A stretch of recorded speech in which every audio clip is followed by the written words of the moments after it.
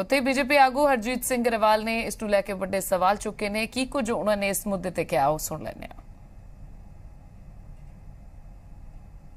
ਜੇਲ੍ਹਾਂ ਦਾ ਮੁਆਇਨਾ ਕਰਨਾ ਸ਼ੁਰੂ ਕੀਤਾ ਗਿਆ। ਉਹਨਾਂ ਨੇ ਸਭ ਤੋਂ ਪਹਿਲਾਂ ਹੋਰ ਕੋਈ ਜੇਲ੍ਹ ਦਾ ਮੁਆਇਨਾ ਨਹੀਂ ਕੀਤਾ। ਪਟਿਆਲਾ ਜੇਲ੍ਹ ਦਾ ਹੀ ਕੀਤਾ। ਔਰ ਉੱਥੇ ਵੀ ਵੀਆਈਪੀ ਕਲਚਰ ਜੇਲ੍ਹ ਦੇ ਅੰਦਰ ਕਿਸੇ ਨਾਲ ਟ੍ਰੀਟਮੈਂਟ ਨਾ ਦਿੱਤੀ ਜਾਵੇ, ਇਸ ਚੀਜ਼ ਤੇ ਵੀ ਗੌਰ ਕੀਤਾ।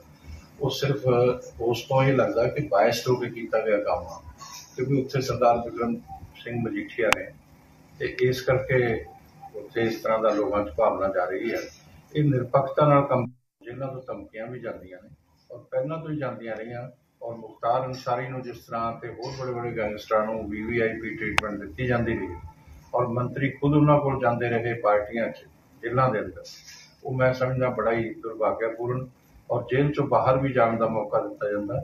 ਉਹ ਬਹੁਤ ਬੁਰੀ ਗੱਲ ਆ। ਔਰ ਉਸ ਤੇ ਰੋਕ ਲੱਗਣੀ ਚਾਹੀਦੀ ਹੈ, ਜੇ ਜੈਨੂਨ ਮੰਤਰੀ ਜੀ ਰੋਕ ਲਾਉਣਾ ਚਾਹੁੰਦੇ ਆ, ਤਾਂ ਬਾਕੀ ਜੇਲ੍ਹਾਂ ਨੂੰ ਵੀ ਦੇਖਣ, ਇਸ ਤਰ੍ਹਾਂ ਦਾ ਬਾਇਸ ਹੋ ਕੇ ਕੀਤਾ ਹੋਇਆ ਕੰਮ ਨਾ ਲੱਗੇ ਔਰ ਇਹ ਲੱਗੇ ਕਿ ਨਿਰਪੱਖਤਾ ਨਾਲ ਸਰਕਾਰ ਕੰਮ ਕਰ ਰਹੀ ਹੈ, ਇਸ ਚੀਜ਼ ਦਾ ਅਸੀਂ ਸਵਾਗਤ ਕਰਦੇ ਹਾਂ ਔਰ ਮੈਂ ਸਮਝਦਾ ਕਿ ਇਹ ਉਹਨਾਂ ਦਾ ਸ਼ਲਾਘਾ